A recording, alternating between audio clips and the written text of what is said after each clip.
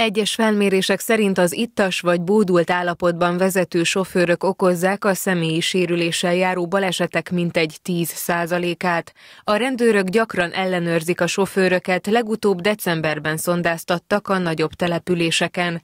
Azonban januártól több millió forintot kockáztathat az, aki alkohol vagy kábítószer hatása alatt okoz közúti balesetet. Hogyha kötelező felelősségbiztosítás terhére okoz valaki kárt, és ne talántán alkoholos befolyásoltság alatt állt, vagy ne talántán kábítószert fogyasztott, akkor a biztosító ráterhelheti a kárkifizetési összeget, ami eddig másfél millió forintig terjedhetett, és ezt most megemelték 5 millió forintra.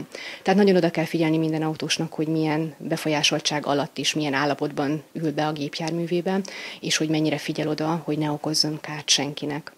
Az Alkusz a kötelező biztosítással kapcsolatosan kiemelte, most kevesebben váltottak biztosítót. A január 1-es kockázatviselési kezdetű szerződéseknek ugye novemberi váltási időszaka most ért véget, tehát most dolgozzák fel a biztosítók ugye az új szerződéseket. Azt tapasztaljuk, hogy lényegesen kevesebb volt a biztosítók váltóknak a köre, jóval kevesebb a tavalyihoz és a tavaly előttihez képest.